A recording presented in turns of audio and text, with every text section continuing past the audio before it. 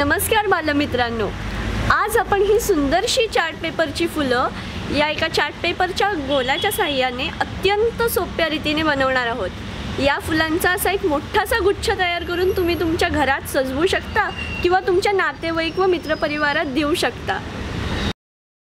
तर यासाठी आपल्याला लागेल कोणत्याही रंगाचा गोलाकार कागद एक हिरवा कागदाचा तुकडा पानं बनवण्यासाठी एक हिरवा स्ट्रॉ फेविकॉल आणि कात्री. सर्वप्रथम गोलाकार कागद स्पायरल आकारामध्ये कापायला सुरुवात करावी. तुम्ही स्पायरल ड्रॉ करून मग तो कापलात तरीही चालेल. कापताना एक दक्षता घ्या की कापता कापता संपूर्ण कागद कापू नयेत. थोडासा भाग बेससाठी ठेवावा मग क्विलिंगला सुरुवात करताना ज्या बाजूने आपण कापायला सुरुवात केली त्या बाजूने क्विलिंगला सुरुवात करा.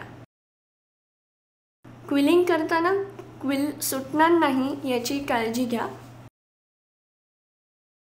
तर असा हा क्विल केलेला भाग डिंकाच्या साह्याने बेसला तुम्ही चिकटवून घ्या. दाबताना अत्यंत अलगदपणे दाबा. तर आपलं हे रोज अत्यंत सुंदरपणे तयार झालेलं आहे. तुम्ही याला थर्माकोल बॉल लावून सजवू शकता. किती सुंदर दिसतं आहे ना हे फूल? तर आपण आता या फुलाचं पान बनवूया. तर आता आधी आपण पानाचा आकार राखून तो कात्रीच्या साह्याने कापून घेऊन हिरव्या देठावर चिकटवून घेऊया.